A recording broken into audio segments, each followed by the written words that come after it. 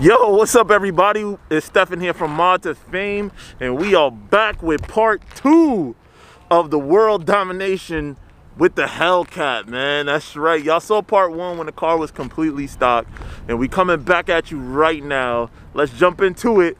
Let's go.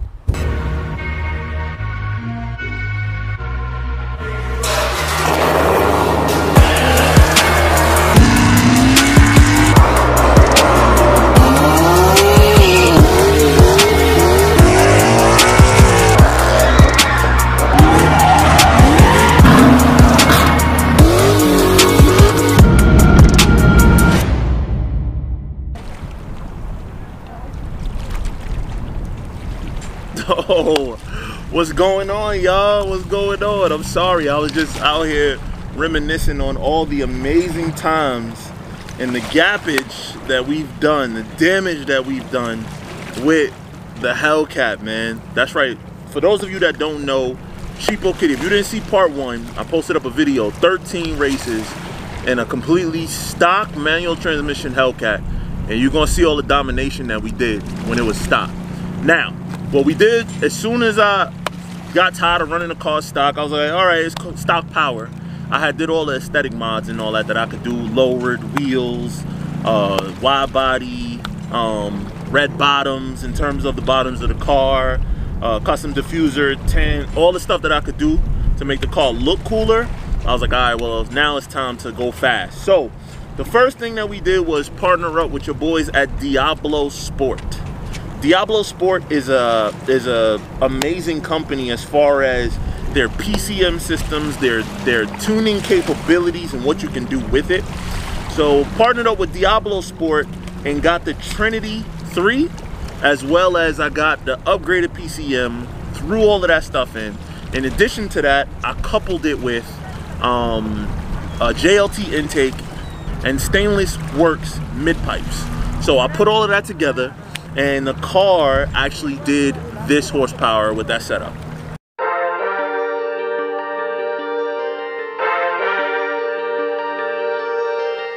here we go, getting ready to get these stainless work joints in. Let's start up cheapo.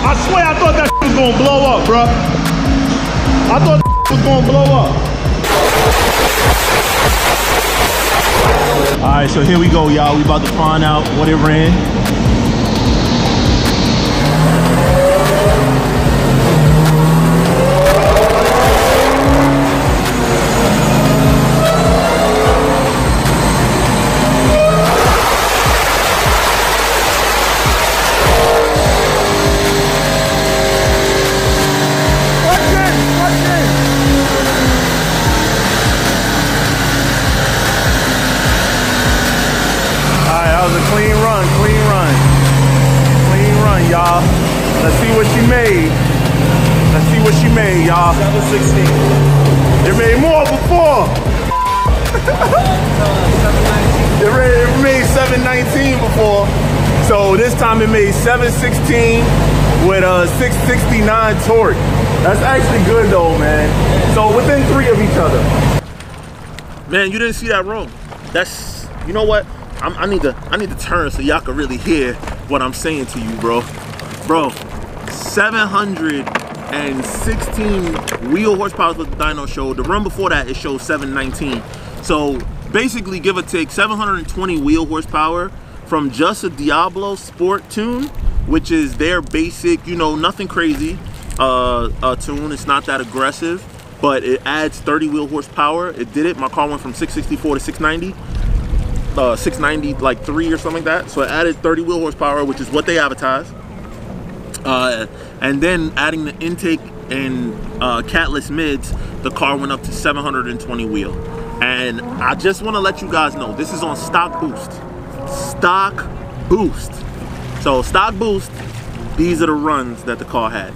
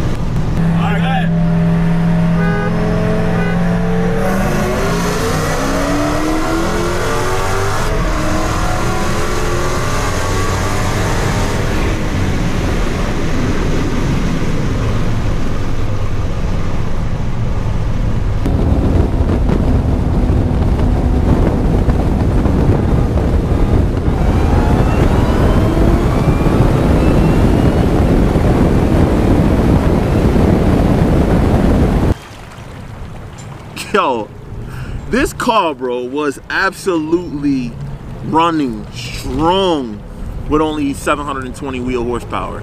I know I said only because I just dynoed the Hellcat Red Eye, which is completely stock, and that car dynoed 702 with an automatic transmission. Manual cars usually dyno a little bit higher. There's less drivetrain loss because uh, of no stall converter and all that kind of stuff. So then next up, it was like, all right, cool. You know how it is. You're never satisfied. You always want more. So then this is when our relationship with Team Hellcat began. Um, Team Hellcat is the tuner for the car and got the car running strong. So what we did was we added a 2.80 pulley from GripTech. Uh, ZPE GripTech is the company and that's the technology that they add the there is like a they have three different levels of grip that they can add to a pulley so it's not just smooth their technology is absolutely amazing and it cuts down on any possibility for belt slip. So I threw on a 2.80 pulley and that's all I did and Team Hellcat did the tuning. And with 93 octane with some Boostane mixed in, if you want to order some Boostane, Mod to Fame 10 is your discount for 10% off on Boostane. But using 93 octane mixed with a little Boostane, the car did this.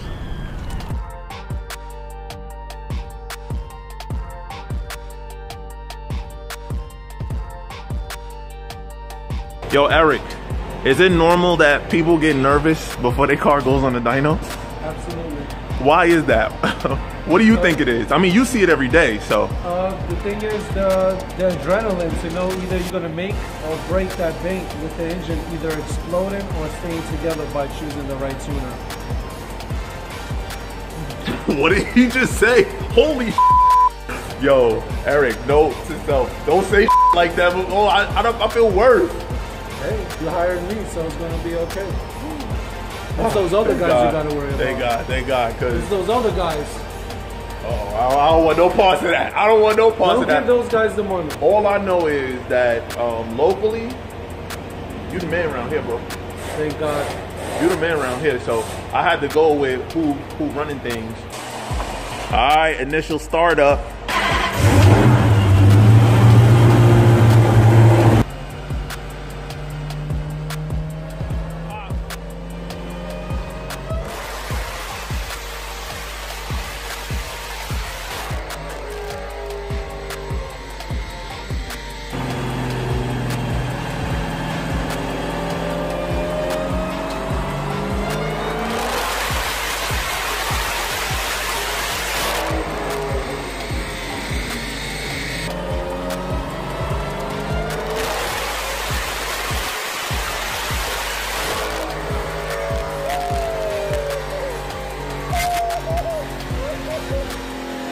Eric.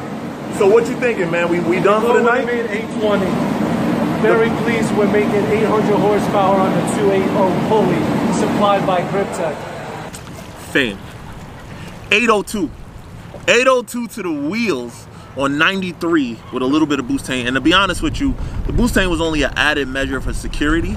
Um, these cars are capable of running damn near close to that 800 wheel uh, on 93.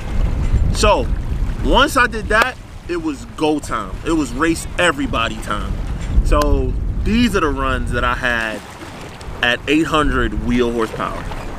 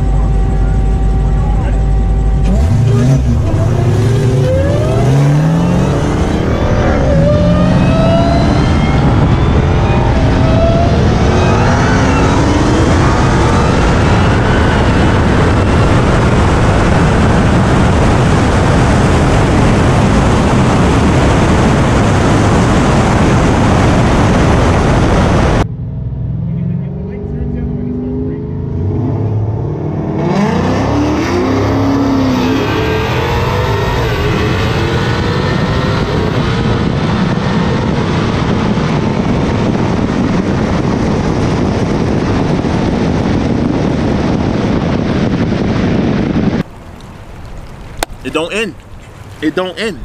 And it goes on. and it goes on. Man, yo, I get so hyped looking back at these races because I had so many of them that were absolutely amazing. Fast cars too, no slow cars, really fast cars.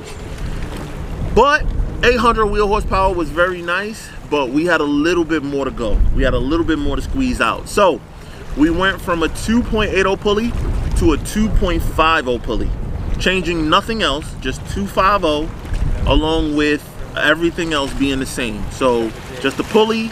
Oh, sorry. When I did the 280 pulley, I did injectors. ID 1050 injectors. I had to do injectors. The stock injectors don't hold up. So ID 1050 injectors, 280. Now I went down to a 2.50 pulley. Um, when going down to the 2.50 pulley, the car was making about 850 to about 860 wheel horsepower, somewhere in that range. Uh, it went from uh, 15 pounds of boost, which is what it was running. Uh, on a 280, it was running about, actually it was running about 17 pounds, of, no, 15 pounds of boost. Yes, 15 pounds of boost, and with the 250, it, I had seen 19 pounds of boost is what it was running. So this is on 19 pounds of boost, 850 to 860 wheel horsepower. Amazing runs. Check it out.